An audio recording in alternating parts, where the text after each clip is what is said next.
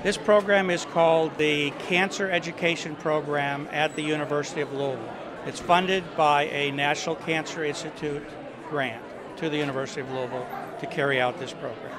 We bring in top students from across the country and from the University of Louisville to engage in cancer research. We want to motivate them, engage them, and uh, encourage them to pursue further careers in cancer research.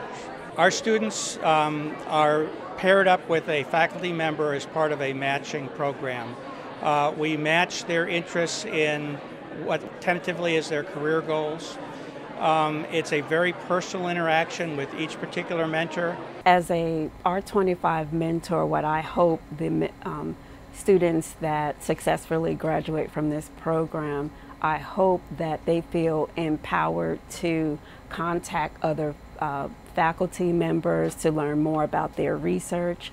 I hope that they will continue to engage in cancer research beyond the R25 program.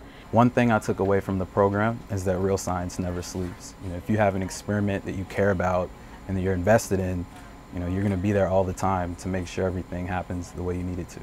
The relationship between the mentor and mentee is different with every mentee and every mentor.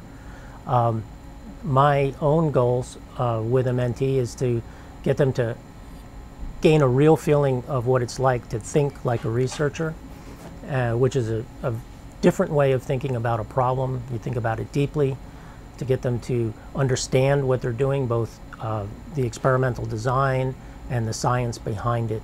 You're, you're teaching someone how to think um, and how to think independently, ultimately, from, from yourself and, and to the ultimate um, goal is to have the student actually disagree with you and say, I think the following is actually true, and I think this is what we should do. And, and for you as a mentor mm-hmm. to realize that that student um, now has ownership over their own project um, and, and they know more about it than you do. And that's the ultimate goal as a mentor. In the R25 program, I learned a lot about um, fundamental research in uh, cancer and also about cancer biology.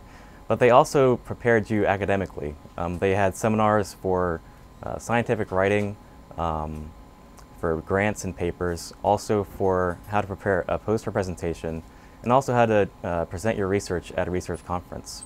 This program is very important to the University of Louisville. It's, it's one of our uh, goals is a preeminent uh, metropolitan research university. We are uh, educating the next generation of cancer researchers. They're getting a hands-on experience with their own research projects. It provides much more cancer research than we would otherwise have at the University of Louisville.